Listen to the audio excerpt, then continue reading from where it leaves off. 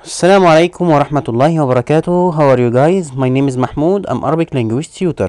I teach Quran and Arabic to native speakers. So if you'd like to have a lesson online with me, you can email me here at ustazmahmoud184 at gmail.com.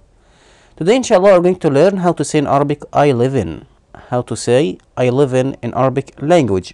And before we start our lesson, please guys don't forget to like this video and subscribe for the channel And if you could share this video with your friends, I'd be really grateful for this because this is really important for me and it helps me a lot.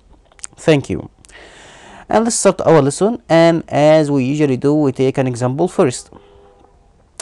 Okay, I want to say I live in Cairo.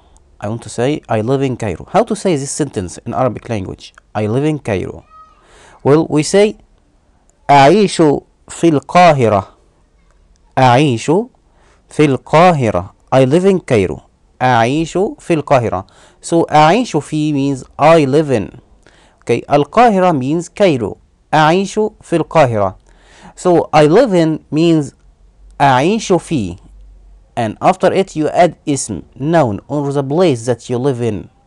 Okay, أعيش في. After it اسم a noun. So for example, I live in Mecca. I live in Mecca. So first I put أعيش في.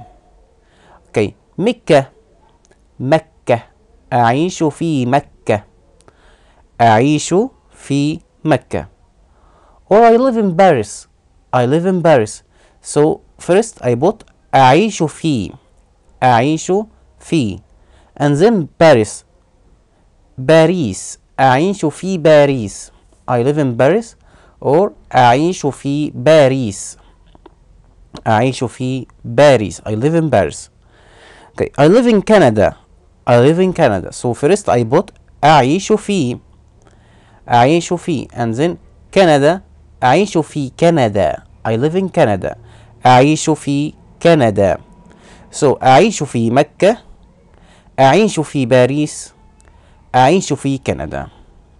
And that's the end of our lesson today. It's short lesson. I hope it's useful for you inshallah.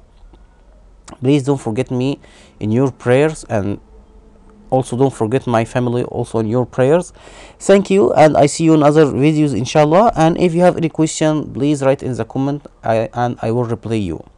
Assalamu alaikum